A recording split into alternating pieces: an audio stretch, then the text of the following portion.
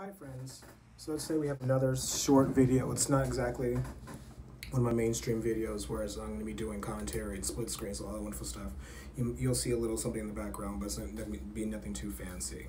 So, a few days ago, I saw this meme, and it goes to the effect of, you'll see it on the screen, you know, I'll try to shift it around so you can see the whole thing in its entirety, to the effect of, only in America can there be a Black Awareness Month, a Black holiday, all Black colleges, and Black dating sites and clubs, and we still say everyone else is racist.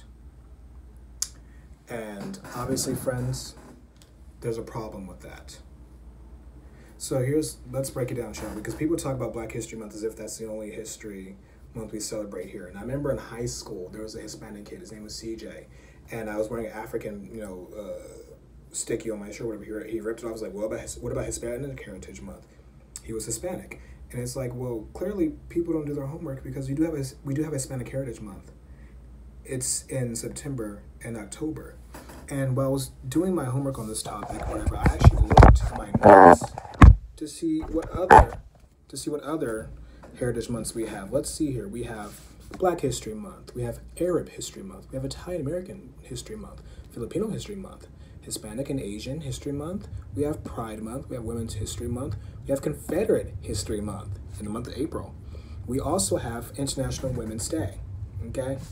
Now, the reason why we have these things is because we can't have nice things. The reason why we have these things is because when the story of America was being told, there was no story being told from the perspective of blacks, of gays, of women, of Asians, of Hispanics. Because surprisingly enough, shockingly enough, back in the colonial days, around the revolution, there were actually 20,000 Hispanic people in this country. We had, a lot, we had a lot of Native Americans who we systematically destroyed, but we don't talk about that either. Okay? We don't talk about how Baron Frederick von Steuben was actually an openly gay military officer and he helped train soldiers for the revolution. We don't talk about that. We don't talk about how Betsy Ross was a woman who sewed our first flag together. We don't talk about how Crispus Attucks was a man of black and native or and or native ancestry who was one of the first people to die for the cause of the American Revolution. We don't talk about these things. This is why we have black history in place. Okay? Black history was not even a thing until the 20th century. And that was first Negro History Week. So we can actually talk about these things because they were not incorporated into mainstream history classes and for the most part still isn't. Let's be real here. Outside of, Martin Luther King, outside of Rosa Parks, and probably Obama now, who do we talk about that's, you know, black history? You occasionally get Malcolm X? Do we talk about Benjamin Banneker? Do we talk about Phillis Wheatley?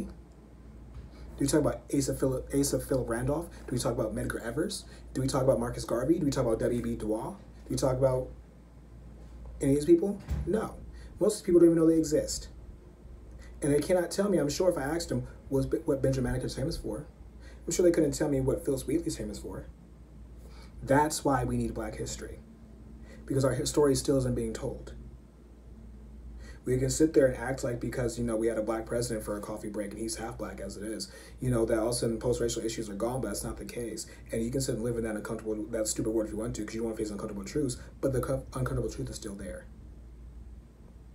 Okay? Moving on. So again we have our black holiday. Let's talk about that black holiday shall we and how it was advocated for from 1968 to 1983 when it was signed into law Okay, it didn't go into effect until three years later, and it wasn't even celebrated in the United States in its entirety until the year 2000. Okay. Meanwhile, this country, you know, this that that holiday was for somebody who fought for the rights of everyone, and yet we don't. We also don't, you know, talk about the fact that Cesar Chavez has his own holiday too. But you know, but of course, you know, we only talk about the black people because that's like the because we feel like we're the only ones hogging the space. But there's there's there's, there's holidays for everybody you can think of. But still, it's ironic that we you know we had issue with you know Martin Luther King and acting like a big that's a big deal. Yet we celebrate Columbus Day, and this is a tiny little Italian man who sat there and systematically destroyed a huge part of the Caribbean. Never stepped foot in America, yet we discuss, we yet we revere him and we hold him up to his exalted standard. Does that make sense to you? Anybody? Come on, somebody. Come on, somebody. Hello, somebody. Does that make sense to you? It doesn't make sense to me. Like, why are we celebrating somebody who was essentially a racist, genocidal eugenist, who who stripped the land of its resources, sent it back to Spain, where he wasn't even from, and we didn't never never step foot in America, but yet we're celebrating him. Yet our banks are closed for him. Our schools are closed because of him. We get taught, oh, Columbus sailed the ocean blue in 1492. Bull. Okay, we celebrate Thanksgiving even though we know what happened to Native Americans after that Thanksgiving, if it ever, ever took place, they were they were destroyed. They were relocated. They were killed. Okay? Let's not do that. Let's not do that. Okay? Now let's talk about for a second, let's talk about these white holidays that we celebrate in the South, like Lee Jackson Day. I don't know if you know who Lee J- Jackson are, but that's Robert E. Lee and Stonewall Jackson. You know they're from? The Confederacy. So as traitors to this country, we have a whole holiday week for the weekend for them, or a couple days for them, whatever. We have a Confederate Memorial Month. We have a, I'm sorry, Histo- History Month. We have a whole Confederate Memorial Day. Okay, we have days, months for people who literally were traitors to this country, who literally fought for the right for people to enslave other people. Okay? That's a problem for me. And it should be a problem for you. And people who write these stupid memes, who people who say who who share this stuff, need to educate themselves and know what they're talking about because it's offensive to people who have intellect and who know their history to sit there and see this kind of stuff and be like, "Yo, what are you talking about? What are you talking about?"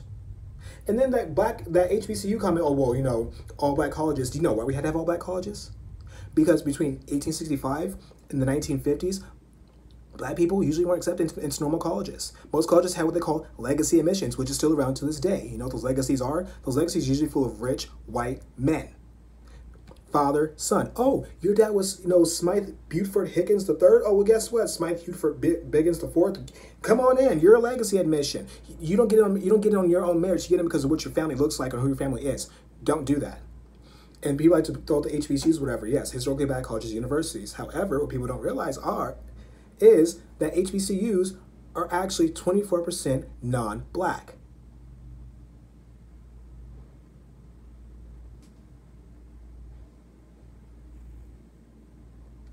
So let's think about it here.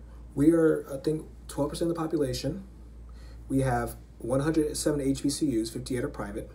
And of those HBCUs, over over a fifth, almost a fourth of the people who go to HBCUs are non-black. Kind of like you did the reverse, the people who usually go to mainstream colleges, 25% probably are black or Hispanic. Not together, just you know one or the other. This is why we have HBCUs. Okay? So let's not sit there and, and delve into the ignorance and deal in the ignorance because we don't because uh, clearly these people don't know what they're talking about and it's offensive. And they want to go on to talk about black clubs. Okay, I never, ever in my life have been anywhere that says this is a black only club. We've had hip hop night, which you can assume is a black only club or black only day, whatever. But that's a night, just like we have, like we have Latin night, like we have women's night. You know, what ladies get the drinks free, so on and so forth. Does that mean now because women have a night where they get drinks free that all of a sudden that you know this country can't talk about right sexual issues or misogynist issues? Does that mean because we have International Women's Day that all of a sudden that all the women's issues in the world have disappeared because we have a single day for them to talk about, you know, celebrating their womanhood? Doesn't make any sense. It makes no sense whatsoever. And they, they want to talk about, oh, we guys have black only dating. Okay. We also have Miss we also have Miss Black America. Why? Because we do not fit in mainstream spaces. Okay? We do not fit for the most part in Miss America Beauty. So we have to come up with something for ourselves. We have dating sites and, and apps and stuff that for ourselves. Okay, but you look at the majority of these, most of these dating sites and these websites, whatever, who do you see on these commercials? You don't see anything that looks like this. Do you? And since when was Black Planet such a bad thing for us to have for ourselves? Get out of here. Like, I don't see, you know, Grindr up to recently being inclusive. I don't see Plenty of Fish up to recently being, hey, like, hey, you know, we're, we're, we're down for the blacks. Like, no, you look at Plenty of Fish, you look at um, eHarmony, you look at, uh, I don't know what you straight people look go to, Blender, whatever. Most of the people in these adverts are not black people. They're not brown people. They're white people. So let's not go there.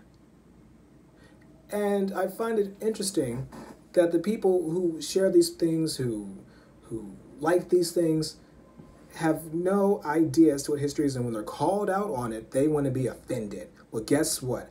I'm offended.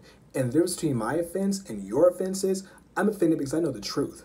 I'm offended because I'm smart. You're offended because you didn't want to do the homework and chose to be lazy and wanted to have some kind of privilege and had some and wanted to be oppressed. And well, guess what? Boo boo kitty. You are not oppressed. And if you find memes like that to be truthful and honest for you, well, guess what? You just might be a racist.